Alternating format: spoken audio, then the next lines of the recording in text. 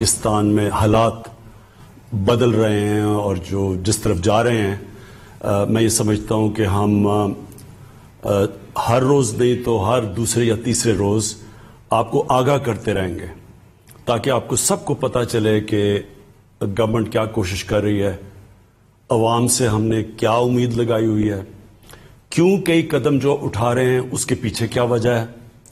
दुनिया के अंदर कोरोना की क्या हालात हैं? और ये इसलिए ज़रूरी है कि जब इस तरह का सिचुएशन जो कोरोना की वजह से डेवलप हुआ है, ये सिचुएशन इसकी कोई मिसाल पहले नहीं मिलती।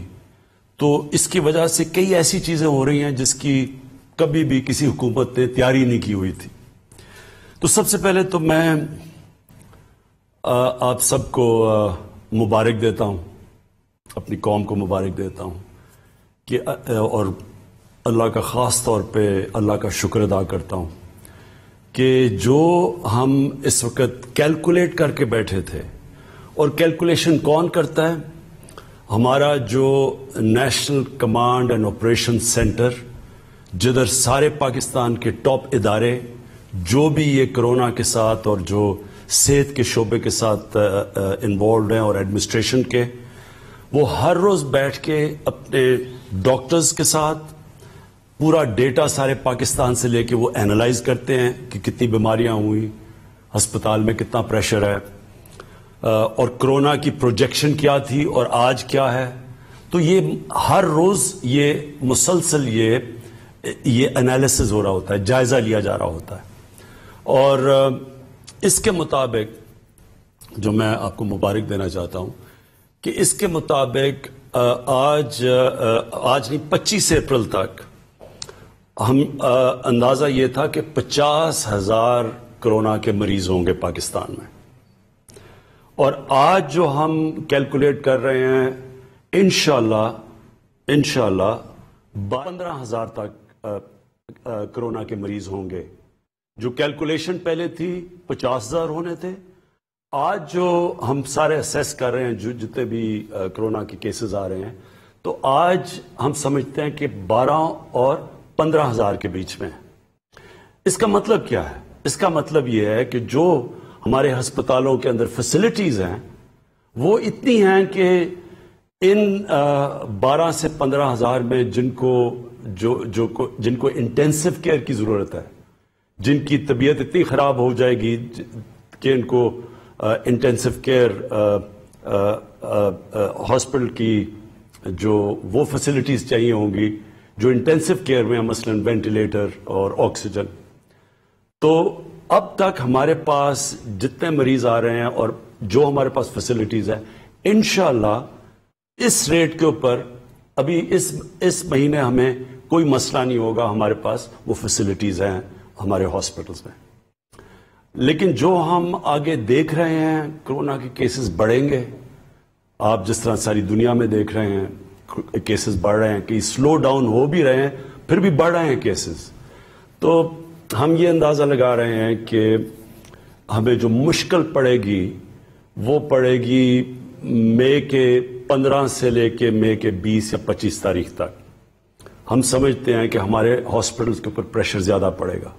जो प्रेशर 25 अप्रैल में पढ़ना था। वो अब चला गया आगे 15 और 20 मई तक। और उस तक हम पूरी तैयारी कर रहे हैं। हमारी एनडीए में, दुनिया से अभी भी हर रोज कांटेक्ट पे हैं वेंटिलेटर्स के ऊपर, जो भी चीज़ें हमें ज़रूरत है, उसके ऊपर तैयारी पूरी कर रहे हैं। लेकिन मैं अभी भी आपको कहूँ कि अगर अगर हम ज़्यादा एहतियात कर दें तो हो सकता है कि ये और आगे चला जाए। यानी जिस तरह हम 25 अप्रैल को समझ रहे थे, ये चला गया अब 10 से 20 मई तक। और अगर हम, जो मैं अभी बाद में आपसे बात करूँगा, अगर हमने एहतियात कर ली तो ये और भी आगे जा सकता है। और ये इसलिए है कि आज हम इस खुशकिस्मत कंडीशन में इसलिए और खुशकिस्मत इसलिए मैं कह रहा हूँ कि आप दुनिया में और मुल्कों का हाल देखें इस वक्त कि किस तरह हज़ार हज़ार, आठ आठ सौ दिन में लोग मर रहे हैं वहाँ। तो उसके मुकाबले में मैं ये कह रहा हूँ कि उनका जब मुआजना किया जाए तो हमारी, हमारे हालात बहुत बेहतर हैं। तो और मैं ये इसलिए भी हैं कि जब 26 कोरोना के केसेस थे पाकिस्तान में तेरह मई के करीब तो हमने तब लॉकडाउन किया था पाकिस्तान। हाँ? तेरह सॉरी तेरह मार्च को तो हमारा 26 फरवरी को पहला केस आया था, और जब हमारे 26 केसेस हुए तो 13 मार्च को हमने अपना लॉकडाउन शुरू किया था। और उस लॉकडाउन के बाद मुख्तलिफ़ कई सूबों ने सिंध ने ज़्यादा किया लॉकडाउन बाकी सूबों ने कम किया। लेकिन अल्लाह का करम यह है कि हमारे जो भी हमने कदम उठाए, हमने जब जायरीन भी आए तो उनको क्वारंटीन किया, उनसे फैला नहीं। तो और उससे पहले हमने कोई आठ लाख यानी तेरह मार्च तक आठ लाख लोगों को हम एयरपोर्ट पर स्क्रीन कर चुके थे।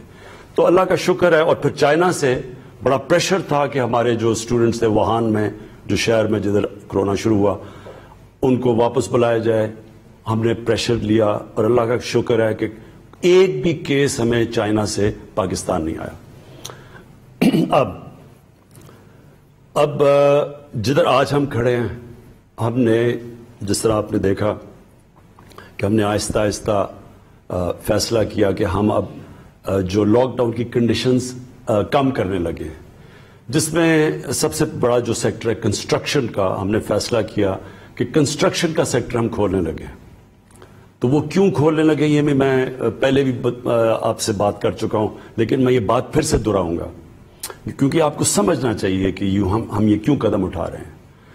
देखें हमारे जैसे मुल्क, पाकिस्तान, हिंदुस्तान, बांग्लादेश, साउथ अफ्रीका जैसे जगह जिधर कच्ची बस्तियाँ हैं, जिधर गरीबों की बस्तियाँ हैं, जिधर कच्ची आबादियाँ हैं, जिधर शैंटी टाउन्स जिनको कहते हैं, फिलीपींस है, ये सारे मुल्कों के अंदर जो कंडीशंस हैं, जो हालात हैं, वो मगरब से मुख्तलिफ़ हैं।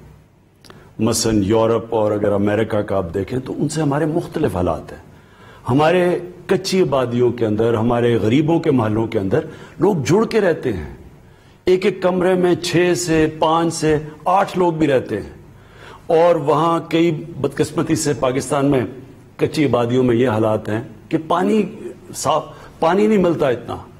तो हम जब एक कौम फैसला करती है कि हम लॉकडाउन करेंगे तो ये ज़रूर सोचना चाहिए कि जब हम लॉकडाउन करेंगे तो हमारी नज़र में होना चाहिए कि ये जो गरीबों की आबादियों में लोग रहते हैं, इनके ऊपर इसके क्या असरात आएँगे?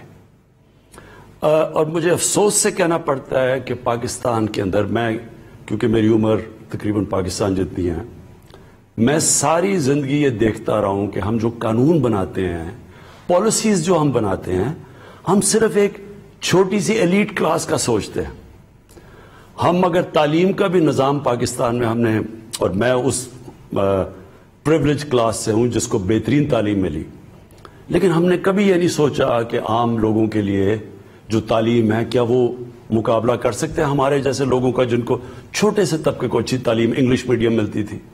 उसी तरह हमने आहिस्ता आहिस्ता गवर्नमेंट के अस्पतालों को तबाह होते देखा। गरीब लोगों के लिए गवर्नमेंट हॉस्पिटल और अमीरों के लिए प्राइवेट हॉस्पिटल्स और जो सुपर रिच थे, उनके लिए लंदन के अंदर इलाज करवाना। ये एक तब, तबकाती निज़ाम पाकिस्तान में डेवलप हुआ। ताकतवर अगर अदालत में जाता है उसके पास बड़े बड़े वकील होते हैं, वो जो मर्ज़ी डाके मारे, वो बच जाता है। जेलों में गरीब भरे हुए हैं। ये जो हमारी माइंड सेट है, जब हम लॉकडाउन करते हैं, हमें ये और सोचा नहीं।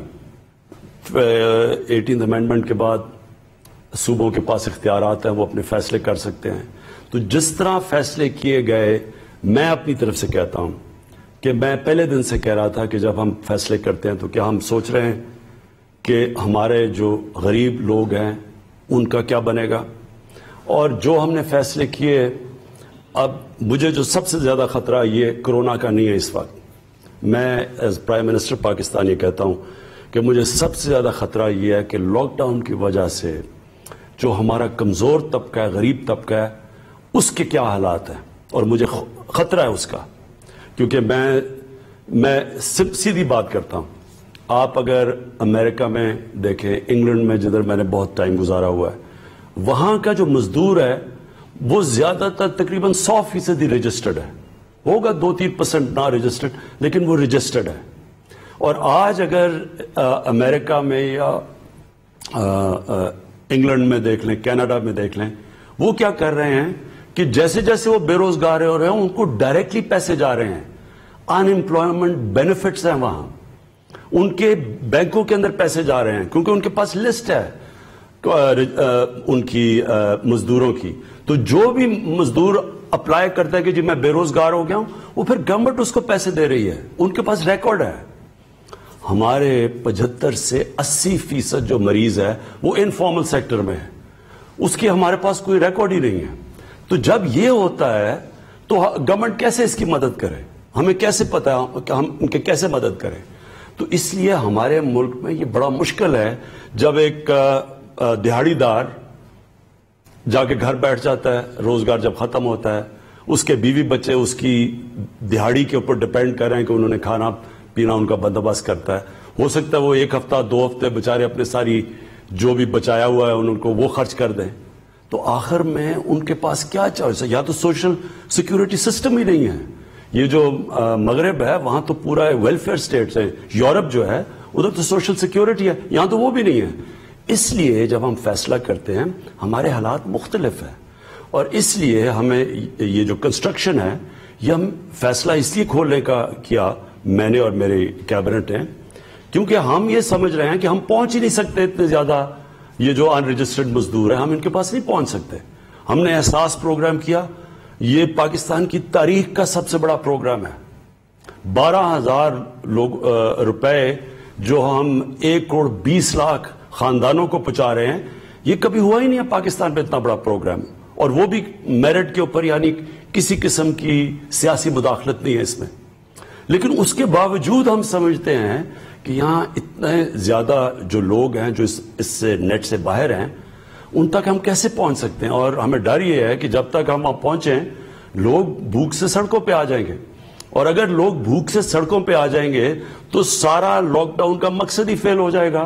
क्योंकि लॉकडाउन का तो मकसद ही है कि लोगों को आपस में फासले रहे तो इसलिए हमने कंस्ट्रक्शन का शुरू किया। और मैं कंस्ट्रक्शन की सिर्फ़ एक और बात करना चाहता हूँ। हमने कहा कि जो भी जिसके पास पैसा है चाहे वो फॉर्मल इकोनॉमी है इनफॉर्मल इकोनॉमी है डिक्लेयर्ड है या नहीं डिक्लेयर्ड हमने सारों को दावत दी, आप इसमें आ जाए। अब इस पर मैं देख रहा था, लोगों ने शोर मचाया, जी देखें, ये क्या हुआ, आपने फिर से एक एमनेस्टी स्कीम दे दी। ये एमनेस्टी की बात नहीं है। मैं आपको सीधी बता रहा हूँ कि अमेरिका का तीस करोड़ तीस करोड़ उनकी आवाम है। उन्होंने दो हज़ार अरब डॉलर का स्टेबुलस पैकेज दिया पाकिस्तान की 22 करोड़ अवाम का सारा स्टेबुलस पैकेज है 8 अरब डॉलर। अब हमारे पास तो वो वसाइल नहीं है जो अमेरिका के पास है, या जो जर्मनी के पास है, या जापान के पास है, इटली के पास है। लिहाजा हमने तो जो भी पाकिस्तानियों का पैसा है, उस सारों को अंदर खींचना है, ताकि हम इस वक्त अपने लोगों को रिलीफ दे सकें। तो इसलिए हमने कंस्ट्रक्शन में सबको कहा है कि आप शिरकत करें ताकि हमारी इकॉनमी चले ताकि लोगों को रोज़गार मिले, ताकि लोग भूख से बचें। उसके अलावा मैं अपनी, मेरी टीम बैठी है, इनसे मैं अभी बार बार ये, इनसे आप जो भी डेवलपमेंट्स है, मैं आपको बारी बारी ये आपको आगाह करेंगे। लेकिन उससे पहले मैं दो और चीज़ें कहना चाहता हूँ। मैं सिर्फ़ अपनी पुलिस से कहना चाहता हूँ। देखें, ये मैंने दो तीन सोशल मीडिया पे चीज़ें देखी हैं। कि लॉकडाउन जो लोग तोड़ रहे हैं, उनको डंडे मारे जा रहे हैं। मैं अपनी पुलिस से कहना चाहता हूँ कि मुझे पता है कि हमारे, आपके ऊपर प्रेशर है कि लॉकडाउन मेंटेन रखें। लेकिन देखें, ये लॉकडाउन डंडे से मेंटेन नहीं होगा। ये लॉकडाउन तब कामयाब होगा जब हमारे शहरी खुद समझेंगे कि उनकी ज़िम्मेदारी है, क्योंकि उनके भले के लिए है। ये सारी कौम के लिए है। क्योंकि अगर कोरोना फैलता है तो हम जानते हैं कि उसके डायरेक्ट असर बीमारी से और इनडायरेक्ट लॉकडाउन से सारी कौम को असर होता है खास तौर पे हमारे गरीब लोगों को। इसलिए उनको समझाएँ। मैं जो भी पाकिस्तान के ओपिनियन मेकर्स हैं हमारे जो आर्टिस्ट हैं जो हमारे कॉलमनिस्ट हैं जो हमारे टीवी पे एंकर्स हैं जो आ, जो हमारे आ, उलमा हैं मैं सब सबको आपको कहता हूँ कि आप सबका काम है कि अवाम को बताएँ कि ये ये हम सबके भले के लिए है कि अगर ये हमारा लॉकडाउन कामयाब होता है, जितनी जल्दी कामयाब होता है, उतनी जल्दी हम वापस अपने कारोबार खड़े कर सकते हैं, मुल्क नॉर्म पे जा सकता है। तो इसलिए बजाय इनको मारने के, क्योंकि डंडे से ये नहीं होने लगा, सारी दुनिया में अब सामने आ रहा है, बांग्लादेश में, फिलीपींस में, साउथ अफ्रीका में, हिंदुस्तान में भी आप देख लें। कोई भी डंडे से लॉकडाउन एक दो हफ़्ते तो शायद कामयाब हो जाए उसके बाद नहीं हो सकते। तो इसलिए उन, उनको अपना समझे उनको समझाएँ लोगों को। और, और लोगों को हम सारे समझाते रहेंगे कि ये आप सबके भले के लिए। आ, उसके बाद रमज़ान आ रही है। और हमारी मस्जिदों के अंदर लोग इबादत करना चाहते हैं। हम सब जानते हैं कि रमज़ान में हम सब मस्जिदों में जाते हैं और हम चाहते हैं कि वो टाइम है इबादत का। डॉक्टर अलवी, जो प्रेसिडेंट है, उन्होंने उलमा से आज मीटिंग की है। उसके अंदर कई चीज़ें तय हो गई हैं। मुझे बड़ी खुशी हुई इस चीज़ की। और मैं आज अपील करूँगा, जो भी इमाम मस्जिद है, कि आप प्लीज़ ये जो तय, शुदा चीज़ें हैं कि क्या आपने प्रिकॉशंस लेनी है, क्या आपने कदम उठाने हैं कि लोग मस्जिद में भी जा सकें और कोरोना से भी बच सकें सोशल डिस्टेंसिंग यानी फासले रखने हैं। इसके ऊपर सब अमल करें। क्योंकि देखें अगर एक मस्जिद के अंदर खुदा न खास्ता एहतियात ना की गई और कोरोना फैलना शुरू हुआ तो वो वो मस्जिद को ही नुकसान होगा वीरान हो जाएगी मस्जिद। और उसी तरह जो हम ये खोल रहे हैं, फैक्ट्रियाँ भी और कंस्ट्रक्शन भी, ये भी हमने पूरी टी दिए हुए हैं आपको कि क्या क्या आपने कदम उठाने हैं उसके लिए। और मालिकान को जो भी जो मालिक है जो फैक्ट्री का मालिक है जो भी कंस्ट्रक्शन साइट का मालिक है उनको भी हम आपको कह रहे हैं कि आपके इंटरेस्ट में है कि आपके जो नीचे काम कर रहे हैं वो सारे ये जो हमने पूरे आपको रूल्स दिए हुए हैं कि किसके मुताबिक आपने आ, काम करना है उसको प्लीज़ फॉलो करें। क्योंकि अगर अगर वहाँ कोरोना फैलेगी तो ज़ाहिर है वो फैक्ट्री भी बंद होगी या वो कंस्ट्रक्शन साइट भी बंद होगी तो आप सबके इंटरेस्ट में है। आखिर में मैं अपने टीम के पास जाने से पहले दो और चीज़ें कहना चाहता हूँ। देखिए, हमारे इस कोरोना के क्राइसिस में जो मुझे सबसे ज़्यादा खतरा नज़र आ रहा है वो ये कि लोग जखीरा अंदोजी करेंगे। मैं पहले भी कह बैठा हूँ, मैं अब भी कहता हूँ। मुझे खतरा यह है कि लोगों ने पैसा बनाने की कोशिश करनी है। जिस तरह रमज़ान से पहले लोग पैसा बनाते हैं, जिस तरह अभी पीछे आटा और चीनी का क्राइसिस आया लोगों ने जखीरा अंदोजी करके पैसा बनाया। इस बारी जो भी पैसा बनाने की कोशिश करेगा, जखीरा अंदोजी करके, ये पहली दफ़ा गवर्नमेंट बहुत सख्ती करेगी। हम ऑर्डिनेंस ले आए हैं इसके ऊपर जखीरा अंदोजी के ऊपर। ये बड़ी सख्ती होगी और नीचे मैनेजर नहीं पकड़ेंगे, हम मालिकान के पीछे जाएँगे। जिन्होंने अब लोगों की मुश्किल के ऊपर पैसा बनाने की कोशिश की, ये मैं आपको कह रहा हूँ कि आपको आपको अभी से, पहले से खबरदार कर रहा हूँ कि बड़ी सख्ती की जाएगी लोगों को पकड़ा जाएगा। ये नहीं छोटे लोगों को नहीं पकड़ेंगे ऊपर जाके जो असल लोग पीछे बैठे हुए उनको पकड़ेंगे। दूसरी चीज़ है स्मगलिंग। इस बारी हमें यह डर है क्योंकि पाकिस्तान में जो गंदम है वो सस्त, जो बाहर है इस वक्त उसकी कीमत ऊपर है और हमें ये खौफ है कि लोग गंदम को स्मगल करेंगे। उसके लिए स्मगलिंग का ऑर्डिनेंस या आज रात आ जाएगी या कल आ जाएगी। और वो ऑर्डिनेंस के मुताबिक वो सख्ती अब की जाएगी स्मगलर्स के खिलाफ जो कभी पहले नहीं की गई। क्योंकि हमने किसी सूरत कीमतें बढ़ने नहीं देनी ताकि क्योंकि उसका सबसे नुकसान इस मुल्क में गरीब पे पहुंचेगा। अगर हम लोगों को बारह बारह हज़ार रुपया दे रहे हैं इस वक्त, और ये कभी फिर से मैं रिपीट करता हूँ, इतना पैसा नहीं दिया गया तो अगर इन्होंने कीमतें ऊपर बढ़ा दी तो उनका तो पैसा बड़ी जल्दी खत्म हो जाएगा। इसलिए ये मुल्क के लिए ये अपनी गरीब लोगों के लिए मैं आज स्मगलर्स को भी कह रहा हूँ। होर्डर्स या ये जो जखीरा अंदोजी करते हैं, उनको मैं आज आपको खबरदार कर रहा हूँ कि बड़ी सख्ती की जाएगी इस बारी। हमने ये दो ऑर्डिनेंस लेके आ रहे हैं और ये सिर्फ़ लेके आ रहे हैं, इसलिए अपनी कौम को बचाने के लिए स्मगलर से भी और ये जो कि जखीरा अंदोजी करके, महँगाई करके पैसा बनाते हैं।